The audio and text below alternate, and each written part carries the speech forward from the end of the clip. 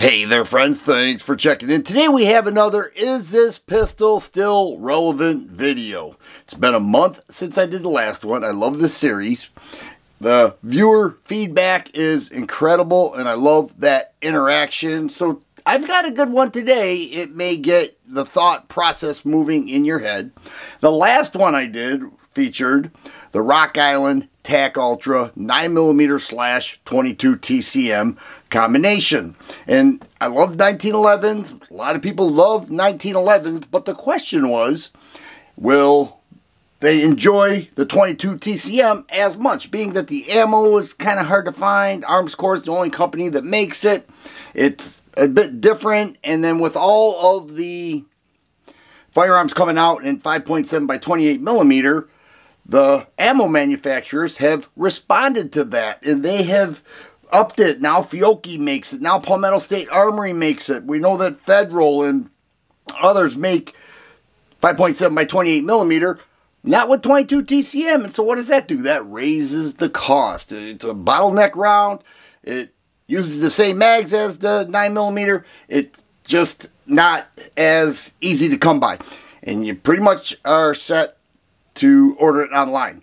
And most of the feedback I got was people saying, well, I love 1911s, but I would not choose that one because 22 TCM, cool round, too hard to get, too expensive.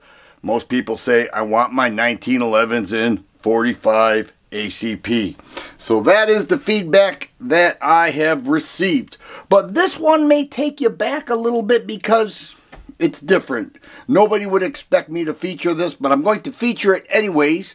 And before you say, how dare you speak of an HK like that? How dare you even put that in front of our eyes and say, is it still relevant? Let me first ask you, why did HK put this handgun on limited production?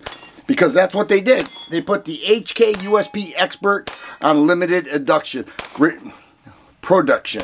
And not the USP, but the expert model with the 5.2 inch barrel. So here we've got a HK USP Expert with the 5.2 inch barrel. It is a big handgun, but there are some things here that are not so much user friendly. Let's take a look at it. First thing is the price. You're looking at between 15 and $1,600 for this when I did my reviews, people said I would choose something over that for that kind of money, perhaps a 2011. Because this here also has 15 round mags. Now they all they make 18 round mags. But in order to do that, I would have to get what they call a jet funnel that would extend the grip so the 18 round mags would fit flush. All right? So that's not a benefit. That's an extra cost. Another thing is that they have this universal mounting rail. Sounds cool. Makes it seem like there's a lot you can do with it to mount. But another thing that you have to buy separately because you would have to put a pick rail onto the universal mounting system. You have to buy the pick rail. Handguns now come with pick rails. And the most, at least an accessory rail, which is a one slot. So that's not great. You add up the cost and everything else. You're like, what's going on? Now, the gun itself is very cool. Very accurate. Nice shooting gun. Beautiful single action trigger right at four pounds. Reset. You have the trigger guard magazine release that is ambidextrous. You have the thumb safety that is ambidextrous. Sweep down. You got the decocker there. You've got the slide stop that is not ambidextrous, but it is a very workable slide stop. Even has that rubber ring on the muzzle end of the barrel. Serrated black sights, both in the rear and the front. A lot of people say, I love that handgun. But why did HK put it on limited production? I think it's because it wasn't selling. And the model that is available and being produced right now is the 4.25 inch model of this. So you basically take it down to about right here, and that's the model of the USP that they are selling. And that is expensive, but not as expensive as this one. $1,500. People would pass on this in the New York second. And so it's not optic ready. It's available with 15 round mags. and 18 round mags and some. It's available in 45.